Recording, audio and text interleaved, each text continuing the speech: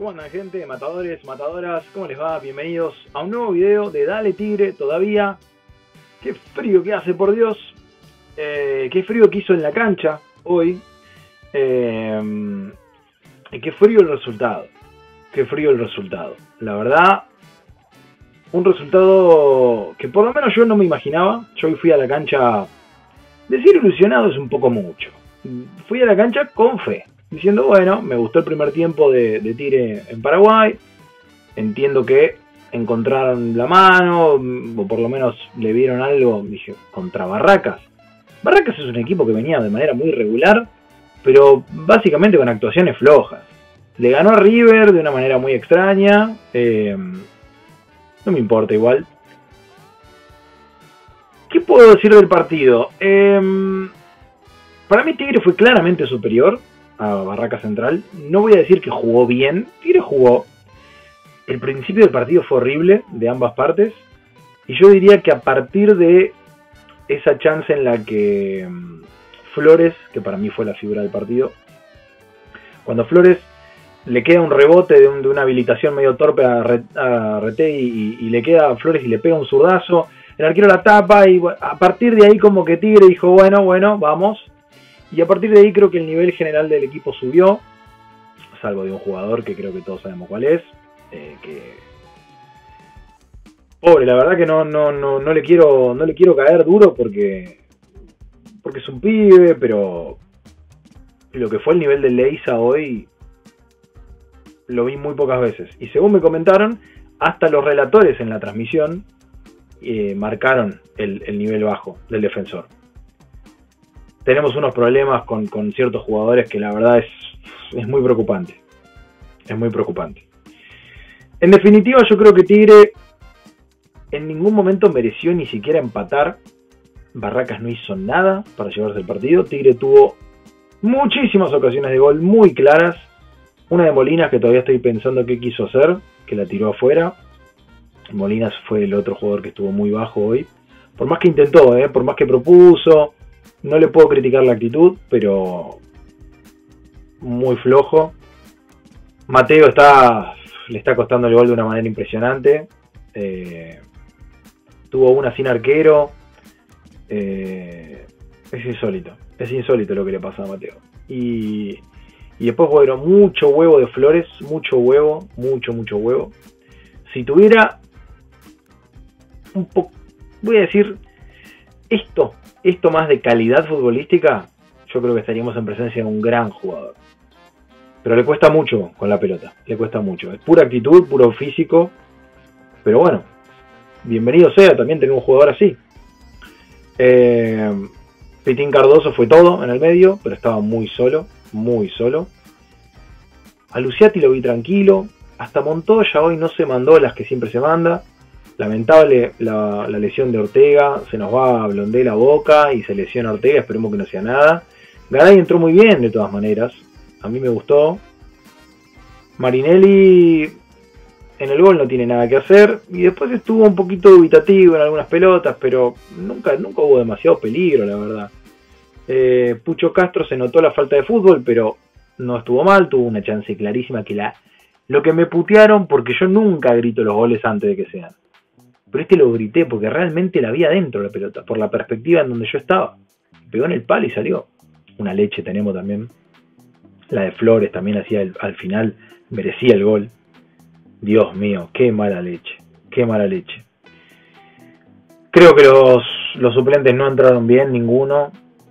Armoa no entró bien, Luquitas si no entró bien, Zavala es como si entrara yo a jugar básicamente, Obando no entró bien, eh, me quedé pensando por qué no fue a buscarlo más Sara.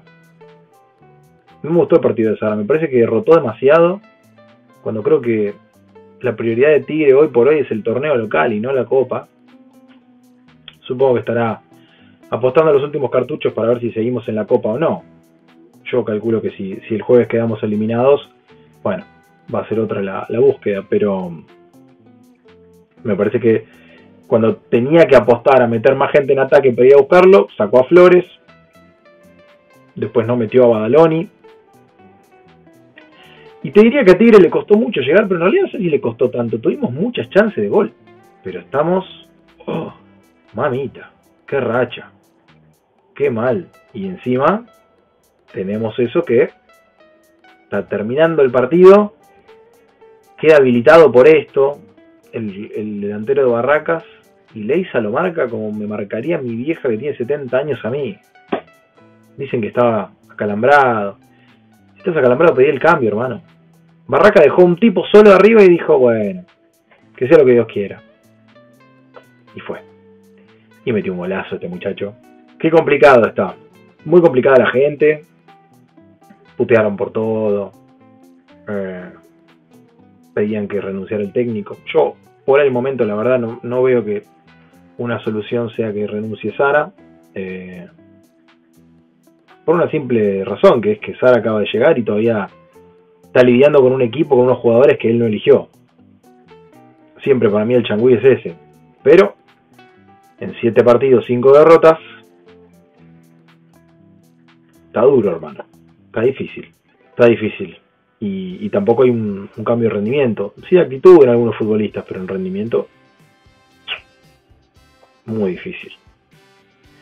Muy difícil la verdad, gente. Eh, en cuanto a los premios, bueno, el premio Goku, el mejor atacante, creo que sin dudas fue Flores, fue el que más empujó y arriesgó y, terminó teniendo un par claras. Eh, como siempre, el premio Krilling al mejor acompañante, el mejor compañero Retei, siempre. Eh, el premio Vegeta al mejor defensor se lo lleva Luciati, pero por una cuestión de que Luciati no tuvo problemas hoy jugó tranqui, pero tuvo al lado un muchacho que no... Fue impresionante lo de Leisa hoy, fue impresionante. Una pena, la verdad. Eh, el premio Yamcha, el más sacrificado, también se lo voy a dar a Flores. Se mató todo el partido. Puso. Fue todo él el partido hasta que salió. Que creo yo que salió porque estaba liquidado. Pero bueno. Eh, fue todo él. El premio Yashirobe, amigo Leisa, la verdad no, no queda mucho. No queda mucho para decir. Creo que vos lo debes saber. Que tuviste el peor partido de tu carrera. Ojalá que, que a partir de ahora sean todas buenas, pero nivel muy bajo. Veremos qué le pasa a Tigre el jueves de local contra Libertad. No sé cuánta gente realmente va a pagar las 4 lucas para ir. Yo ya las pagué, voy a ir. Porque es partido de copa, porque ver a Tigre jugando un torneo internacional siempre es hermoso aspirando a tal vez ver algo, algo nuevo, algo distinto. Más que ganarle a la libertad, me ilusiona más que encuentre el equipo, Sara, y que encuentre un funcionamiento que se pueda mantener. Pero está difícil, está muy difícil. Como siempre les digo, me ayudan mucho si se suscriben, le dan like al video, comparten con, gente que le pueda interesar este contenido. Eh, y déjenme sus opiniones, a ver qué les pareció el partido, a ver qué, qué, qué piensan de Tigre y del fútbol argentino en general, si es que no son de, acá también, me interesa saber sus opiniones. Gracias gente por estar del otro lado, como siempre les digo, me siguen como Ale Grau en todas las redes, nos vemos en el próximo video. Dale Tigre todavía.